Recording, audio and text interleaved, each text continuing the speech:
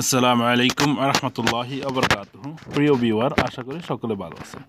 কাছে এবং দূরে দেশ এবং বিদেশে যে যেখান থেকে যে অবস্থান থেকে আমার ভিডিওতে যুক্ত হয়েছেন, সবাইকে স্বাগতম এবং শুভেচ্ছা। যে সকল ভাই এবং বোনেরা আরব দেশগুলোতে নতুন এসেছেন আর যারা আরব দেশে নতুন আসার পরিকল্পনা করেছেন, তাদের জন্য আমাদের ভিডিওগুলি খুবই হেল্পফুল হবে।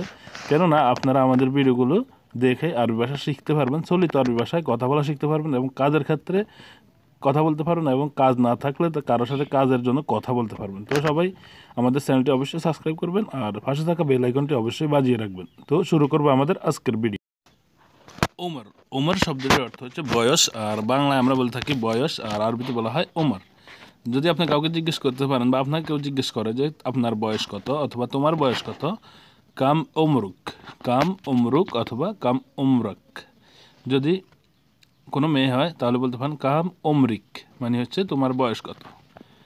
হিসাব হিসাব আরবিতে বলা হয় হিসাব হিসাব আর হিসাব মানে হচ্ছে কত, তোমার কত টাকা হয়েছে? যদি আপনি কোনো কিছু কিনেন বা আপনার থেকে কোনো কেউ কিছু কিনে, তখন তো আপনার কত কীভাবে জিজ্ঞেস করবে যে কাম, তোমার কত টাকা হয়েছে? কাম হিসাবাক কাম হিসাবাক অথবা কাম হিসাবুক মানে হচ্ছে তোমার কত টাকা হয়েছে? হিসাব করো। সৌই হিসাব সৌই হিসাব মানে হচ্ছে হিসাব করো। হয়তো অনেক সময় কিছু মালপত্র নিয়েছে, এখন বলবে যে তুমি হিসাব করো। সৌই হিসাব মানে হচ্ছে হিসাব করো তোমার কি হয়েছে।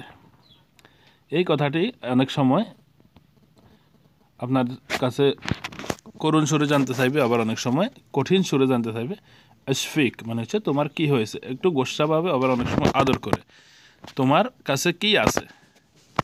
তোমার কাছে কি আছে? অনেক সময় আপনার রাস্তায় চলার ক্ষেত্রে অথবা দোকানে ফাটে কাজ করেন, তখন আপনার দোকানে কি আছে? এভাবে জিজ্ঞেস করবে, এস ইন্দাক অথবা শুনো ফি ইন্দাক? শুনো ফি ইন্দাক অথবা এস ইন্দাক মানে হচ্ছে তোমার কাছে কি আছে? আমার কাছে কিছু নাই।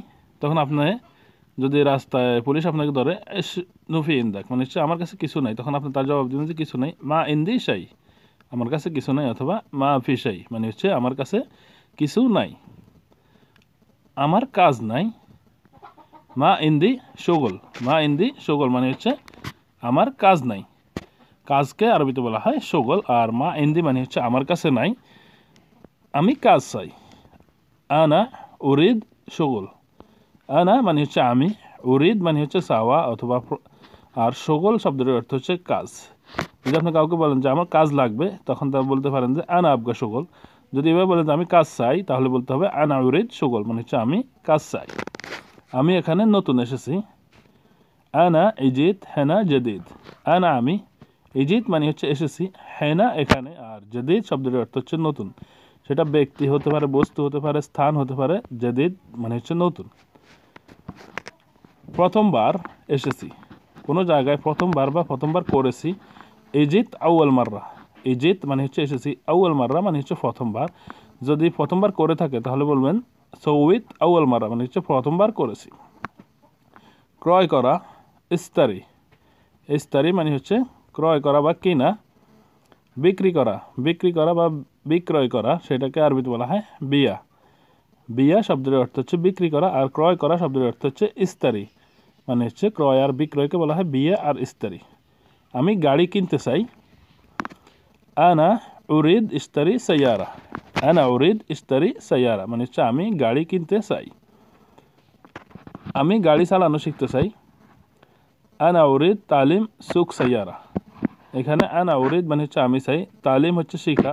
সুখ মানে হচ্ছে, চালানো আর সাইয়ারা শব্দের অর্থ হচ্ছে, গাড়ি। টয়লেট টয়লেট শব্দের অর্থ হচ্ছে, হাম্মাম অথবা দৌরাতল মিয়া। দুইভাবে বলতে পারেন।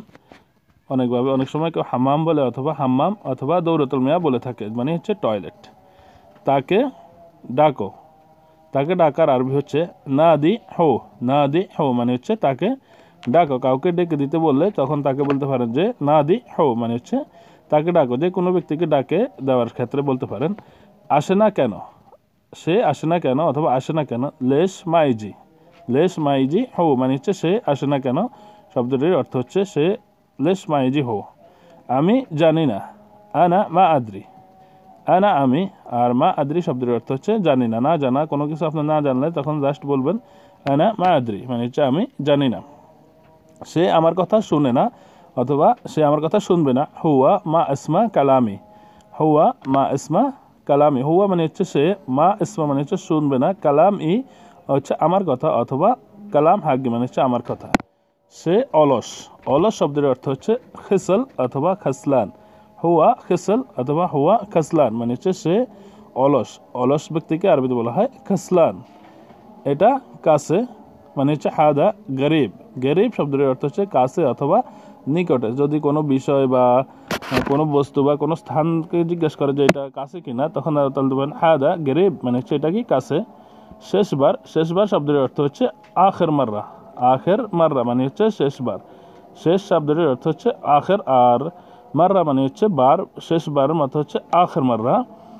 আমাকে ক্ষমা করবেন। ক্ষমা করা শব্দটির আর- আরবি হচ্ছে সামাহ। সামাহ মানে হচ্ছে ক্ষমা সামাহনি। সামাহনি শব্দটির অর্থ হচ্ছে আমাকে ক্ষমা করবেন। এখানে সামাহনি, আমাকে ক্ষমা করবেন অথবা ক্ষমা করুন। তো বন্ধুরা, ভিডিওটি দেখার জন্য অসংখ্য অসংখ্য ধন্যবাদ। আর ভিডিওটি কেমন হয়েছে অবশ্যই সেটি কমেন্ট বক্সে কমেন্ট করতে ভুলবেন না। আপনাদের মতামত কমেন্ট করে যাবেন ভিডিওটি ভালো লেগেছে না কেমন লেগেছে। আর যদি ভালো নাও লাগে, অবশ্যই ভিডিওটি দেখতে থাকুন। কোনো এক সময় আমাদের ভিডিও আপনার ভালো লাগতে পারে, আপনি অনেক কিছু শিখতে পারবেন। ইনশাআল্লাহ, আল্লাহ হাফিজ। আসসালামু আলাইকুম আ রহমতুল্লাহ